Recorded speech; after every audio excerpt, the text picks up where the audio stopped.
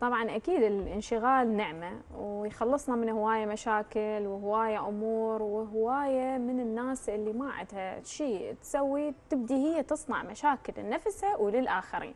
لكن من يزيد هذا الانشغال عن عن الحد الطبيعي وإنه الشخص ما عنده وقت راحة وهو متقصد لهالشيء مو إنه هو جدولة مزدحم وما يلحق لا هو لما يكون عنده وقت راحة ما يعرف يقعد لا لازم يطلع له شغلة أو يشعر بالذنب إذا هو قاعد ومرتاح. هذول الأشخاص يا أما يكونون أشخاص آه، دائمين الشعور بالذنب يعني دائما يفكرون بأنه هم حتى يكونون منتجين لازم إنه يقدمون شيء وإلا وقت الراحة هو وقت ويستنج يعني هو تبذير بالوقت وما له داعي.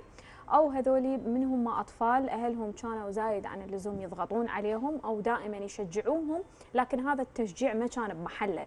كان زايد بطريقة إنه أنت شو قاعد ومرتاح وعايف فلان شغلة ولازم تقوم ولازم تساعد فترسخ بدماغهم إنه وقت الراحة هو وقت مو صحيح هو وقت مو مو من حقهم إنه الإنسان لازم يستغل كل دقيقة وكل لحظة بأنه يعمل وأنه يسوي شيء وقت الراحة هو مو من حقه.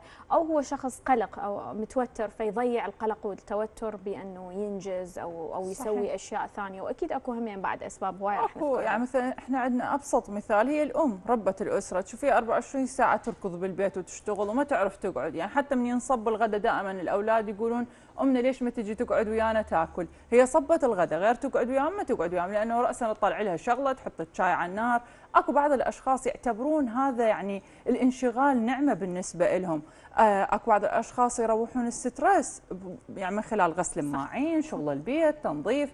أكو نساء مضغوطات نفسيا تشوفيها 24 ساعة تنظف. أكو ناس عندهم هذا الوسواس القهري مال النظافه بالضبط. تشوفيهم 24 ساعة ينظفون. فهي حسب كل شخص وشنو شعوره اللي يحس به أكو بعض ربات البيوت أنا بالذات عند ربات البيوت أريد أركز لأنه ما تعرف تقعد ربة البيت. لازم 24 ساعة لو تنظف. لو تنزل البردات لو تغسل الزوالي زين صيف شتاء قبل العيد ماكو عيد دائما تشوفين ربة الأسرة عندها هالامور أساسية. صحيح مرات يكون الانشغال تعويد يعني مو بالضروري يكون اكو هاي الأمور اللي حكيناها. مرات يصير تعويد خلص هي تعودت على إنه تكون منشغلة. من تقعد فتره راحتها تحس أكو شيء غلط يعني أنا ليش عندي شيء نقص بحياتي؟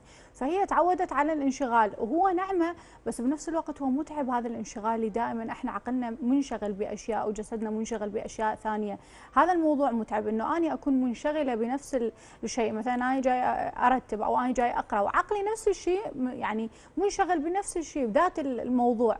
بس إذا يكون عقلي منشغل بشيء وجسمي وحركاتي وأعمالي منشغلة بشيء ثاني هنا صعب. شلون راح أقدر أوازن؟ هنا يصير عندنا تشتت. صح. تشتت بالانشغال عموما. فهذه مشكلة يعانون من عندها النساء أكثر شيء. الرجل دائما يركز على أمور واحدة يعني عقله وجسده والأعمال اللي يسويها هي واحدة بس. المرأة لأنه متعددة المهام فتكون منشغلة أكثر. صح وحتى بعض الرجال همين تلقيهم بشغله يضغط على نفسه. هو مم. هذا الشغل الواحد يطلع به هم سالفه حتى ما يقعد. هم عنده هيك شيء بس بطريقة مختلفة. إحنا النساء نتفرع يعني تشوفين الأعمال نفسها آه، مختلفه منا بخص الأطفال ويخص البيت ويخص شغلك أنت آه، نفسه وأمور ثانية وتفاصيل صديقات وكذا. لكن يجوز الرجل ما عنده ما عنده هذه المالتي تاسك إنه يتعدد بالمهام وهاي التفاصيل لكن هو بعمله نفسه أو بشغله هو هذا الواحد يضغط على نفسه زايد حتى يلتهي. فممكن إن يكون بالفعل هو عنده ضغوطات نفسية ويريد يهرب منها بهاي الطريقة وحتى لو كانت عادة هم لها سبب. يعني هي شلون بدت هاي العادة؟ هل أني كنت بهاي الفترة مضغوط نفسيا؟ آه، تعبان؟ هل أني من أقعد شوية وأرتاح أبدي ألوم بنفسي إنه لا لو مسوي فلان شغلة لو مكمل ما أعرف شنو كان أحسن لو مستغل هذا الوقت ورايح لفلان مكان. هو هذا نفسه هاي الطريقة من التفكير مو مو صحيحة. يعني صحيح. أصلا هاي الطريقة آه، من التفكير مو سليمة بغض النظر عن عن الأسباب. لأنه جسمك له حق عليك وأنت لازم ترتاحين حتى تقدرين تنتجين ولازم أكو وقت آه، الشخص لنفسه هو ما يسوي بيه أي شيء. دا يسوي اي شيء بهاي اللحظة لا دا يضغط على نفسه لا نفسيا ولا جسديا حتى هذا الدماغ همينه آه، يرتاح. فهذا الوقت الراحة لازم إنه إحنا نعرف هو هذا هذا الوقت هو أفضل وقت بهاي الحياة. مو إلا إنه أني أكون 24 ساعة أشتغل حتى أني شخص زين أو منتج ممكن إنه انت تنتجين. بثمان ساعات اللي أكو شخص من الصبح لليل دا يسويه بس هو ما ما ينتجه بنفس الطريقة. دكتور أكو بعض الشخصيات هماتين من يقعدون بالبيت بدون شغل اللي هو هذا وقت الراحة بالنسبة لك مثل ما ذكرتي يصير عندهم اكتئاب يعتبروه هذا دا يضيعون وقتهم بشيء ما أي بيه فائده فتشوفيه لازم يطلع ويسوي له فد شيء خلال هذا اليوم. ممكن مثلا مأجل فد شغلة معينة لازم يسويها بهذا صح. اليوم. فأكو أشخاص هم يزعجهم قعدة البيت توترهم. إن كان رجال أو مرأة راسا يطلعوا لك شغلات من جوا القاع يردون يسووها بهذا يوم الفراغ الوحيد اللي عندهم المفروض هو يرتاح به الجسم وعلى فكرة ترى الجسم من راح يتعب راح يوصل مرحلة الشخص تشوفيه إيه، ينام يوم كامل من التعب. لأنه جسمه خلاص أنت أوكي. حتى وإن كان عقلك مشغول وحابة بأنه أنت مثلا تنجزين أشياء معينة مرات جسمك ما يقدر. طبعاً. يقول لك أنا تعبان أريد. أنام وأرتاح. تعرفين آني لومي على منو؟ لومي على اللي عمموا فكرة بأنه الانشغال نعمة. يعني مو دائما يكون الانشغال هو نعمة بالعكس مرات يكون يعني أذى علينا أذى نفسي أذى فكري أذى جسدي أذى مجتمعي. يعني ما أنت أنت ما عندك وقت الراحة ما عندك تقدير لوقت الراحة. فالانشغال مو دائما يكون نعمة. الانشغال نعمة بحالة واحدة إنه أني فارغة وما عندي أي شيء أسويه بحياتي فأني أنشغل ب يعني أعمال أنشغل بمهنة أنشغل بمهارة بعيدا عن الانشغال بحياة الآخرين. بس الانشغال ابدا بعمره ما كان نعمة لأنه إحنا بحاجة إنه نعطي مساحة لنفسنا ومساحة للأشخاص المهمين اللي موجودين بحياتنا. فهذه أهم نقطة إحنا نركز عليها بانه الانشغال مو دائما نعمة. المبرر هذا اللي نقوله لعائلاتنا للأشخاص المهمين عندنا إذا سمعنا من عندهم عتب أو لوم بأنه إحنا دائما ما موجودين ما متوفرين بالمناسبات المهمة والسعيدة فنقول له والله أنا مشغول والانشغال نعمة. لا الانشغال بهالحالة مو نعمة. وقت الراحة هو النعمة وقت العطاء للآخرين هذه هي نعمة أنا أشوف. أكيد بس مو راحة 24 ساعة نايم. أكيد لا. ومكسل وما ادري رجلي وأتفرج تلفزيون أقول والله يتعب الراحه. نعمه لا هذا كسل هذا مم. هذا مو راحة. إحنا بدنا نحكي على الناس اللي ما تنطي مساحة ومجال لنفسها كل الوقت مشغولة ومضغوطة وما عندها دقيقة تقعد بيها. هذا هذا شيء لا هذا شيء دا- دا استهلك نفسي وراح أوصل لمرحلة أو أو لعمر معين بعد ما أقدر أسوي أي شيء لأنه استهلكت كل الطاقة مالتي. فاحنا بدنا نحكي على الناس ال- الطبيعيين أو أو ال normal. أكو هم حالات خاصة مثل الناس اللي هم عندهم فرط حركة أو أو ADHD والله عرفت على الضحكين علي؟